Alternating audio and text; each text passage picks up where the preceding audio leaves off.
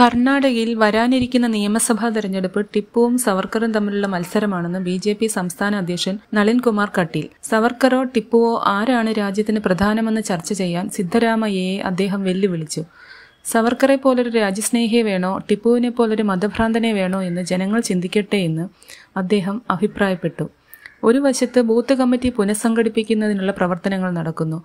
മറുവശത്ത് booth Vijay Abhiyan Janaspandana rally നടക്കുന്നു. Booth committee കൂടുതൽ ശക്തമാക്കാനാണ് ബി ജെ പിയുടെ പരിശ്രമം. മാത്രമല്ല കർണാടകയിൽ ബി ജെ പിയുടെ വിജയം ഉറപ്പാക്കാൻ ജനസംഘടൻ യാത്ര തുടരുകയാണ്.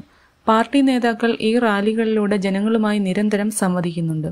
ബൂത്ത് ശാക്തീകരണത്തിലൂടെ സംഘടന കൂടുതൽ ശക്തമാകുമെന്നും ബൂത്ത് ശക്തമാകണമെങ്കിൽ സംഘടന ശക്തമായി മുന്നേറുമെന്നും നളിൻ കുമാർ കട്ടീൽ അഭിപ്രായപ്പെട്ടു. അതേസമയം കർണാടക നിയമസഭയിൽ ഈ വർഷം ഏപ്രിൽ മെയ് മാസങ്ങളിൽ നിയമസഭാ തെരഞ്ഞെടുപ്പ് നടന്നേക്കും. തിരഞ്ഞെടുപ്പിന് ഇനി മൂന്ന് മാസമാണ് ബാക്കിയുള്ളത്. തിരഞ്ഞെടുപ്പ് കണക്കിലെടുത്ത് ഒരുക്കങ്ങളെല്ലാം നടക്കുന്നുണ്ടെന്നും അതിനുശേഷം രണ്ടായിരത്തി ഇരുപത്തിനാലിൽ ശ്രദ്ധ കേന്ദ്രീകരിക്കുമെന്നും ബി വൃത്തങ്ങൾ അറിയിച്ചു.